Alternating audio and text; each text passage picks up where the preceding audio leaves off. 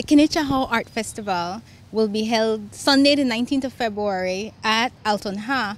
And the entire purpose behind the festival is in order to have people experience the master wood carvers in their um, in their natural environment. Um, we want to highlight the National Institute of Culture and History along with the Institute of Creative Arts, want to highlight the art of wood carving, you know, and kind of expose more Belizeans to the, that particular art.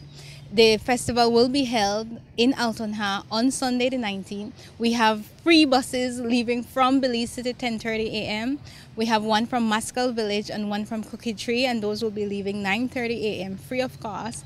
Um, the festival is for the entire day. There will be a wood carving competition. There are going to be um, various performances as well as wood carvings on display. We invite everybody to make a family day of it.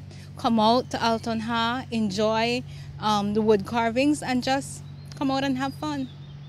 The trip is free, entrance to Altun free, but of course, um, majority of the carvers will be having their carving on display and for sale. So bring your money and pick up that beautiful piece of wood art.